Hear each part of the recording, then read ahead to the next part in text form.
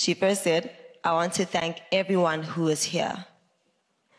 I am so glad that my son is married today. I am in my happiest glory.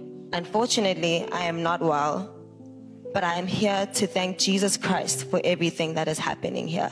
May God bless the two of you forever and ever until death do you part. I am in tears. anibusise. I love you. Ukuthanda kakhulu futhi umuhle. Love mamako.